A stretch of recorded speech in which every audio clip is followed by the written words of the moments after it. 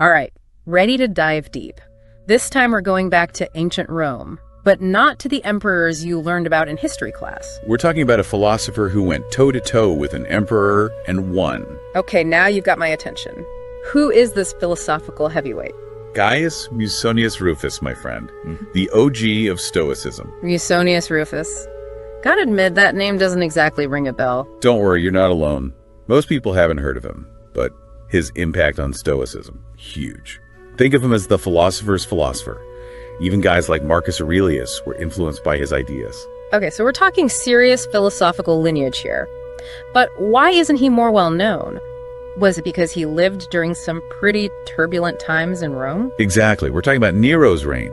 Not exactly known for its embrace of reason and virtue. Yeah, Nero, the emperor who supposedly fiddled while Rome burned. Not exactly the poster boy for stoic self control. You got it. And Musonius. He wasn't afraid to call Nero out, to challenge his excesses, his abuses of power. I can imagine that didn't go over too well with the emperor. Let's just say Musonius got a lot of frequent flyer miles.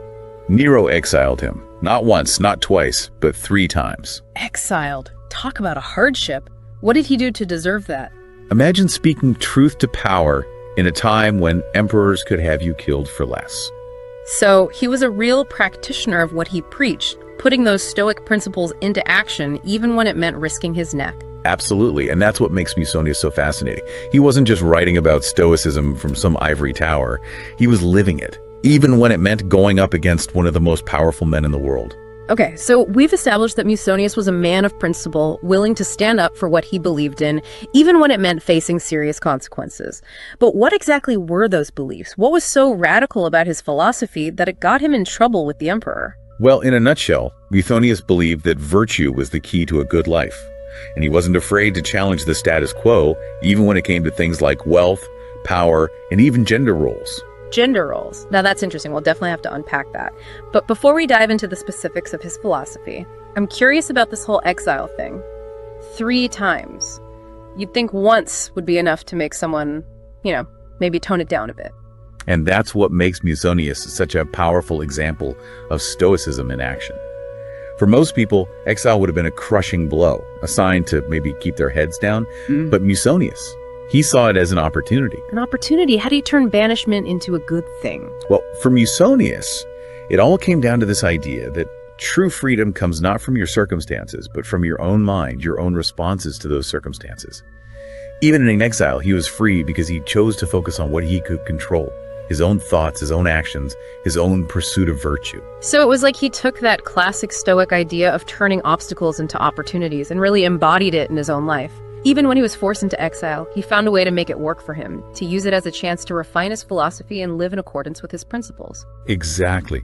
And that's a powerful lesson for all of us, isn't it? That even when things are tough, even when we're faced with challenges that seem insurmountable, we always have the power to choose how we respond, to find meaning and purpose, even in the midst of adversity. Absolutely. And that's just the tip of the iceberg when it comes to Musonius Rufus. This guy was way ahead of his time, challenging conventional wisdom and offering a timeless blueprint for living a more meaningful and fulfilling life. But you know what? I think we need to take a quick break to let all of this sink in. We've covered a lot of ground, and I want to make sure our listeners have a chance to digest it all. Stick with us. We'll be right back after a short break. All right, we're back and ready to keep digging into the philosophy of this Roman Stoic rock star, Musonius Rufus. Before the break, we were talking about how he turned exile into an opportunity for growth. But I want to get into the nitty gritty of his ideas. Like, what did he actually mean by virtue? Ah, that's the million sesterces question, isn't it? For Musonius, virtue wasn't just about being a goody two shoes. So, not just following a list of rules or anything. Right. It was about living in accordance with your true nature, aligning yourself with the rational order of the universe. Okay, I'm intrigued, but you're gonna have to break that down a bit more. How do you actually live in accordance with this rational order? Asking for a friend. Well, Musonius believed that humans are naturally rational beings, Okay. and that by using our reason, we could understand the natural order of things and live in harmony with it. So it's about using our heads, not just following our hearts. Exactly. It's about making choices that are in line with our highest selves, not just giving in to every impulse or desire. That makes sense. But how does that translate into everyday life? I mean, did Musonius have any practical advice for how to actually do that? Oh, absolutely. He had tons of practical advice, and it's surprisingly relevant to our lives today. For example, he talked a lot about the importance of self-control, especially when it comes to things like wealth and pleasure. I'm sensing a theme here. This is ancient Rome we're talking about. Those guys knew how to party. You said it. But Musonius believed that true happiness, true freedom, came from mastering your desires, not being enslaved by them. Easier said than done, right? For sure. But Musonius argued that it's in those moments of choice, when we're tempted to indulge, that we have the opportunity to exercise our reason and choose the virtuous path. So it's about finding that balance between enjoying life's pleasures and not letting them control us. Exactly. He wasn't saying we should all live like monks, but that we should be mindful of our consumption, our desires, and how they might be affecting our overall well-being. And it wasn't just about material things either. Oh, what else did he talk about? Musonius also challenged the traditional Roman views on gender roles. Really? Now this I've got to hear. We're talking about a society where women had very limited rights. Exactly. But Musonius believed that women were just as capable of reason and virtue as men. Wow, that's pretty radical for the time. What did he base that on? Well, he argued that reason is a universal human trait, not something limited to one gender or social class. So basically, he was saying that women are people too. Revolutionary. Right. He even went so far as to accept female students into his school, which was practically unheard of at the time. He sounds like he was a man ahead of his time in so many ways. Absolutely. But his views on gender equality weren't just about fairness. They were also rooted in his belief that a just and virtuous society requires the contributions of all its citizens. That's a message that still resonates today. It certainly does. And it speaks to the enduring power of Musonius's ideas. They weren't just relevant to ancient Rome. They offer a timeless blueprint for living a more meaningful and fulfilling life, no matter who you are or where you come from. I love that. But we haven't even touched on his views on education or how he dealt with those multiple exiles. There's still so much to unpack. And unpack we shall. But for that, we'll need to delve even deeper into the mind of Musonius Rufus. Okay, ready to jump back in. We were just about to unearth more of Musonius Rufus's wisdom. And trust me, there's plenty more where that came from. Well, lay it on us. What else did this Roman Stoic have to say about living a good life? Well, we were just talking about his emphasis on moderation, right? And how it wasn't about deprivation, but finding balance. Right, like enjoying life's pleasures without letting them control you. It's something we all struggle with. It's a timeless struggle, right? And Musonius, living in ancient Rome, was surrounded by excess. Oh, yeah, those Romans were famous for their feasts and extravagance. Yeah, exactly. But Musonius saw how that pursuit of pleasure could become a trap, how it could distract people from what truly mattered. So he was advocating for a more mindful approach to enjoyment, like appreciate the good things, but don't let them rule you. Exactly. He believed that overindulgence in anything could cloud our judgment and hold us back from reaching our full potential as rational, virtuous beings. Makes sense. So it's about finding that middle path, right? Not denying yourself every pleasure, but not going overboard either. Right. It's about aligning your choices with your values, living in a way that brings lasting fulfillment, not just fleeting pleasure. It's a tough balance to strike, though, especially in today's world with so many temptations and distractions. Absolutely. It's like a constant practice, and Musonius knew that. He emphasized that living virtuously wasn't about achieving some perfect state, but about constantly striving, constantly choosing the better path. It's about the journey, not the destination. Precisely. And part of that journey is about embracing our capacity for reason, for making choices that are in line with our highest selves. It's about recognizing that we have the power to shape our lives, even in the face of challenges. So it's not just about enduring hardship, but about actively using those experiences to learn and grow. Exactly. Musonius saw challenges as opportunities to strengthen our virtue, to test our commitment to living in accordance with nature. Remember how he was exiled three times? Oh, yeah, I don't think I'll ever forget that. Talk about resilience. He didn't just survive those exiles, he thrived in them. He used them to refine his philosophy, to deepen his understanding of freedom and virtue. That's such a powerful example. It's like he's saying, hey, life is going to throw you curveballs, but you get to decide how you're going to react. You can let those challenges break you, or you can use them to become stronger, wiser. And that's the heart of Musonius's message, isn't it? Yeah. That we all have that inner strength, that capacity for growth. Mm. We just have to cultivate it. I think that's a perfect note to end on. Musonius Rufus, a man who walked the Stoic walk, even when it meant challenging emperors and facing exile. His story is a reminder that true freedom, true happiness comes from within, and that by cultivating our virtue, by aligning ourselves with reason and nature, we can live lives of meaning and purpose no matter what challenges we face. Couldn't have said it better myself. Musonius may not be a household name, but his wisdom is as relevant today as it was in ancient Rome. Absolutely. So until next time, keep seeking, keep life, we hold our heads high through the stormy skies. We never say die. Facing every challenge like a stoic knight. With every step forward, we ignite the night. Bounce back from the falls, never showing no fear. In the darkest moments, our minds stay clear. With a heart of iron and a steady aim, we charge through the pain, never seeking fame. Keep it moving, keep it strong. Push it forward all day long. Stoic courage, voice and sing this song. From the valleys low to the highest peaks We conquer the silence even when it speaks. Life's battles rage on, we never shy away Standing firm in the fray each and every day. Rhythm of resilience pounding in our chest Fighting every battle, never taking rest. Stoic courage flowing in our veins Through the joy and through the pains. Keep it moving, keep it strong. Push it forward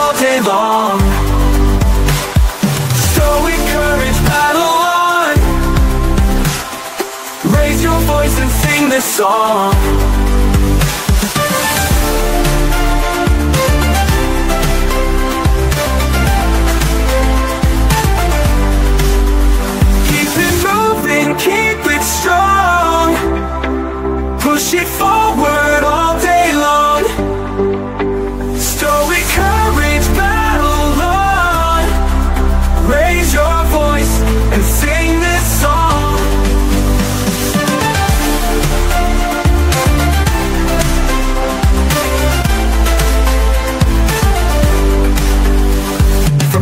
the valleys low to the highest peaks. We conquer the silence even when it speaks. Life's battles rage on, we never shy away Standing firm in the fray each and every day.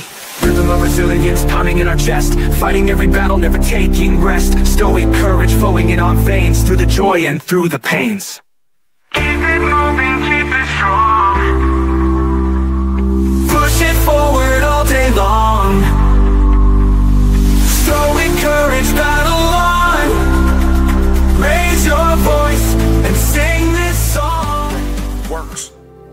One of them by themselves don't work magically. You can't work your way to it. You can't faith your way to it. It's a beautiful blend of faith. I believe the plane is going to land in Australia, but I still got to get on it.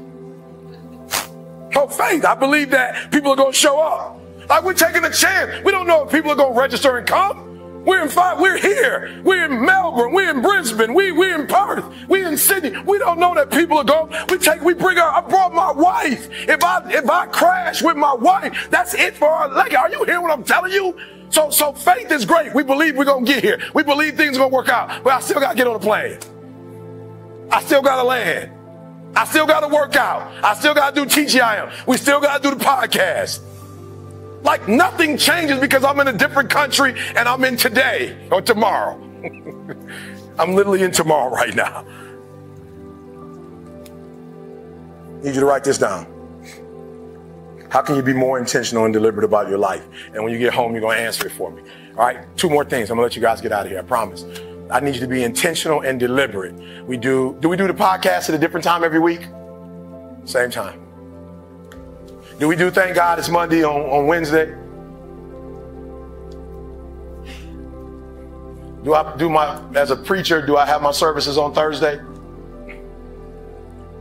Same same thing every Come on, come on, guys. I'm not trying to make this deep. I'm trying to make this as simple as I can. When you leave this room, you're gonna go to a whole nother level. A year from now, two years from now, three years from now, Denzel walked in and said, 16 seconds.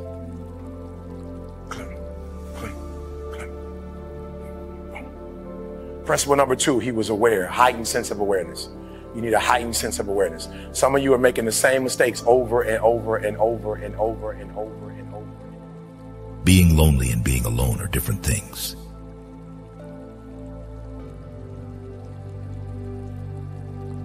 If you're right but you're obnoxious about it, people won't see you as the good guy.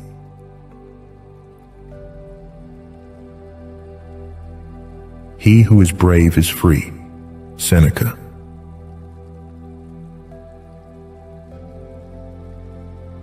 Who controls the past controls the future. Who controls the present controls the past.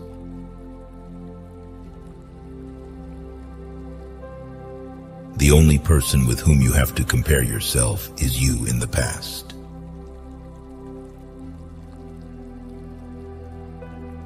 The mind loves to complicate things. Truth is simple. Mooji.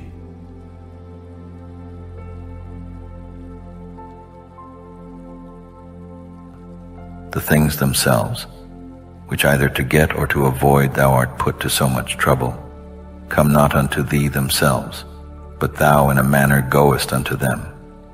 Let then thine own judgment and opinion concerning those things be at rest. And as for the things themselves, they stand still and quiet, without any noise or stir at all. And so shall all pursuing and flying cease.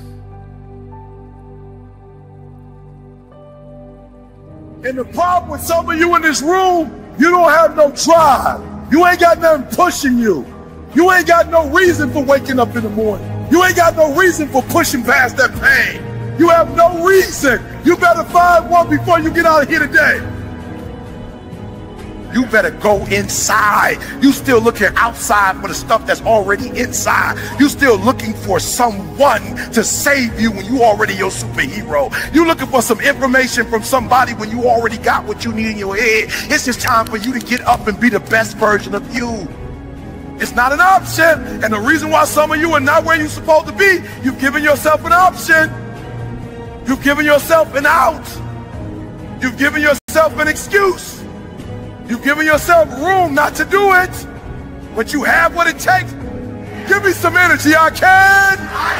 I will. I must.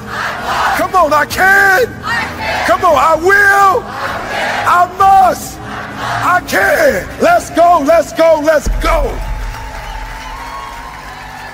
Let's go. I can means I have the ability to do it. I got what it takes. I have the ability to do it. I will. I have the willpower to make it happen. I must. My wife needs me. I must. My son needs. me. I must. My daughter needs me. We can, we will, and we must get through this. Let's go.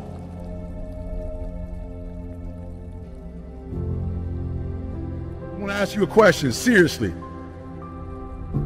This is going to be hard because some of you young and you like still worried about what people think about you, so you don't want to be honest in front of people. I want you to think about what level you want. Are you giving 90, 80, 70? Listen to what I'm saying for a minute. Early to bed and early to rise in old age makes a man healthy, wealthy, and wise.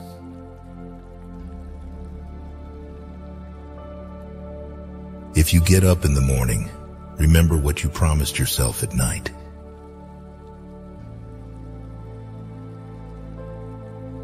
God has entrusted me with myself.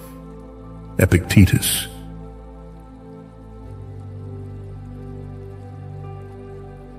Don't be afraid to take risks and try new things.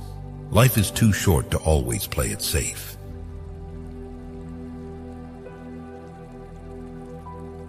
Time is money.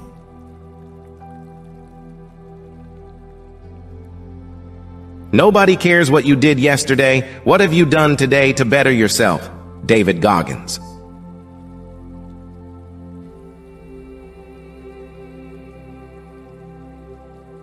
Not only now henceforth to have a common breath, or to hold correspondency of breath with that air that compasseth us about, but to have a common mind, or to hold correspondency of mind also with that rational substance, which compasseth all things.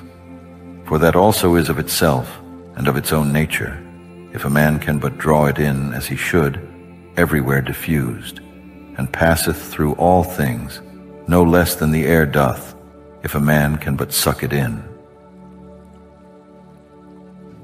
Package of $300,000 if you take it within this time frame. However, after this time frame, when we have the downsizing, you might be among the people cut and you will lose all of benefits that we're talking about right now, and the most you can get is two weeks severance pay. Ladies and gentlemen, only 50% of the people that were eligible took this. Let me tell you something. If I'd been there, I'd have gone to ask for your check. See, ladies and gentlemen, life is too short trying to play it safe.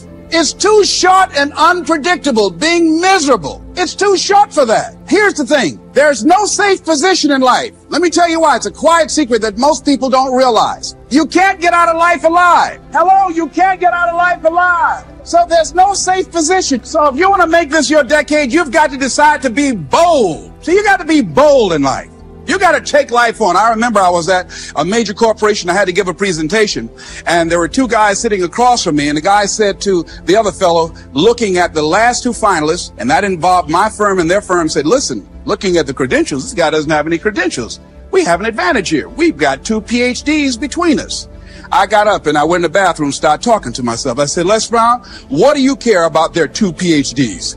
You have six children and a mama to take care of. And I went in that meeting, and first of all, I went there walking bold, looking good, feeling good, and smelling good. And I sat across that table, and we started negotiating, and I operated in a spirit of absolute certainty. I looked at them as if the only reason that they were born was to give me that contract. They survived one out of nine million sperms to carry out this transaction, and I got the contract. So you got to decide to be bold. Most people go through life trying to creep. No, no, no. Trying to be casual about it. No, no, no. You go through life being casual, you'll end up a casualty. No. You've got to be bold in life. You've got to take life on. When you have some goal out here that you're stretching for and reaching for that takes you out of your comfort zone. Don't react. Cut them off silently. Be like the cliff against which the waves continually break, but it stands firm and tames the fury of the water around it.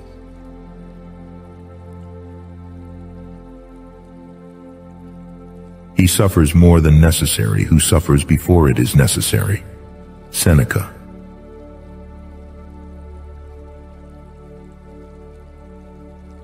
Create and stick to a personal budget.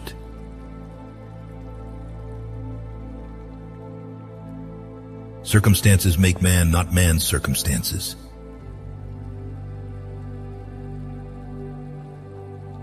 To be free, you must transcend the illusion of separation.